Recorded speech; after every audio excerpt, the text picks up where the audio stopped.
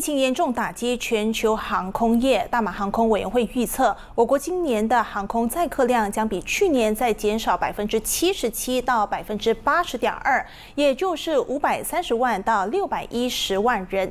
航空委员会今天发布报告指出，基于区域的疫情在下半年升温，当局必须修正四月份的预测。报告也指出，今年第二季的载客量为一百三十万人，也是去年第二季八十万人之后的新低点。不过，随着我国的疫苗接种率越来越高，相信不久后完整接种疫苗的民众将会搭乘飞机到国内展开短程旅游。尽管客客机的载客量在疫情升温，后应声下滑，但航空委员会估计，第二季的货运量同比去年上升百分之八十点四，主要是运送疫苗，加上国内对电子商务的需求上升。报告也预测，今年的货运增加百分之二十六点五到百分之二十八点二，有望恢复到疫情前的水平。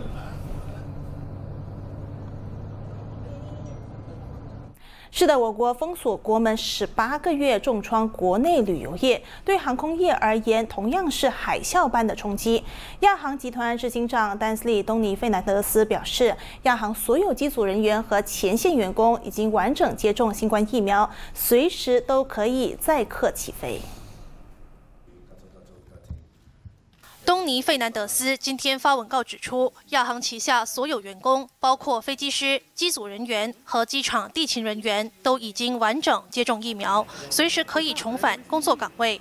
东尼指出，亚航在疫情停飞这段期间，实施多项新创举，让飞行在疫情下能够更卫生，并且简化程序，减少乘客与机组人员直接接触，增加染疫风险。种种努力得到专业航空评鉴网站 airlinesratings.com 评选为疫情安全评级最高的航空公司之一。至今，全球已经有超过五十个国家开始迎接完整接种疫苗的旅客。随着东盟加速疫苗接种工作，亚航放眼各国，在不久的将来放宽国内或是国际旅游限制，恢复旅游泡泡计划。